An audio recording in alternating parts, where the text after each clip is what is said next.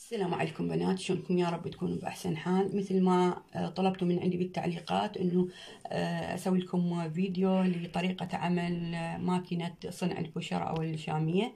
وتلبية لطلبكم. أني اليوم حبيت أصور. أني استخدمت هذه الماكينة سويت بها بس راح تشوفون مكوناتها وطريقة العمل. أني إذا تشوفون أني خاله هنا الكلينكس لأن هذا الغطاء هو يعكس الصورة فاعذروني. آه، المكونات الجهاز أو الماكينة آه، عندنا هذا المعيار. إذا تشوفوا بنات هذا. هذا المعيار نخلي به آه، كمية الذرة اللي راح نخليها بالجهاز. وهذا الغطاء بنات راح أشيله.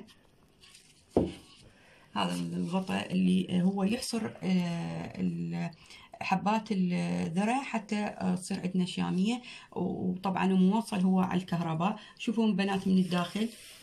هذه أني آه، استعملته مرتين سويت الفشار أو الشامية آه، بنات أخذ كمية قليلة من هذه الذرة. شوفوا قدامكم حبات الذرة. وعندي هنا آه، تتبيلة أيضا. أي نوع تتبيلة عندكم تستخدموها بالدجاج باللحم أو بس ملح متروك الأمر لكم بنات. وبالنسبة هنا الزيت تخلون قطرة زيت بالماكينة. قطرة زيت مو أكثر. وتحطون حبات الذرة. هسه راح أسوي أبدي بطريقة العمل. بنات شوفوا هاي الكمية اللي راح أخليها طبعا أنا خليت قطرة زيت داخل الماكينة هنا. شوفوا راح أخلي هاي الكمية. وأغلق الماكينة يعني بهذا الغطاء اللي شفتوه. أغلقها. شوفوا بنات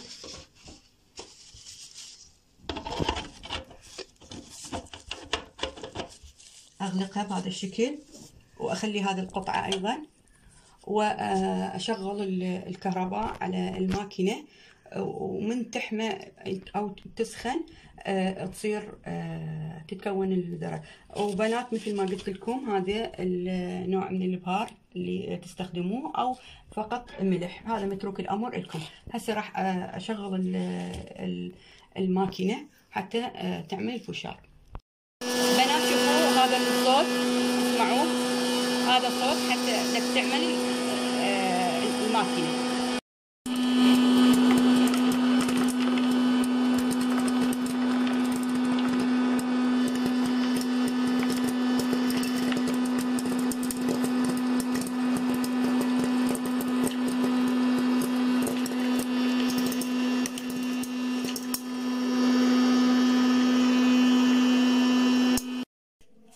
شفتوا بنات؟ هذه طريقة عمل الماكينة. شفتوا هاي؟ أنا سويت كمية هذه كمية حتى أشوفكم. آه، شوفوا هاي بنات هذه الشامي الشامية أو الفوشار. هسه أقدر آه، أخلي عليه التتبيلة أرش عليه التتبيلة وأوزعها عليه. وأخلطها بهذا بهذا الشكل. وفترة يعني آه، دقيقة دقيقتين ومن ثم أقدمها. آه، بنات يصير تخلون التتبيلة بهذه التتبيلة آه، بالماكينة يصير. بس أني يعني سمعت إنه إحدى الأخوات استعملت بها التتبيلة والزيت بكمية فاحترقت وعطلت الماكينة. فأني ما أريد أجرب هذه الشغلة حتى لا تعطل عندي الماكينة.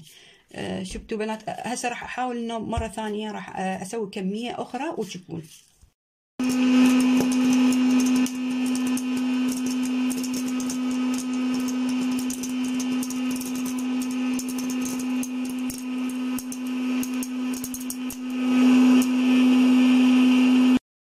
بنات بعد ما آه، عملنا بها الفشار أو الشامية لازم ننظفها بنات من أي شيء اوساخ صارت بيها ننظفها تنظيف آه، جيد.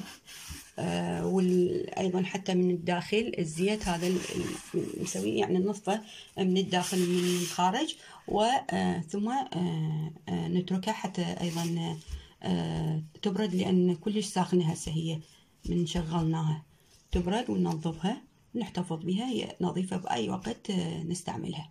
بنات أتمنى عجبكم الفيديو. وإن شاء الله وفيت بالوعد اللي وعدتكم به بهذا الفيديو بطريقة عمل ماكينة صنع الفوشار وانتظروا مني فيديو ثاني بعمل قدر الضغط اللي شفتوه بالمشتريات. أترككم برعاية الله وحفظه. والسلام عليكم ورحمة الله وبركاته.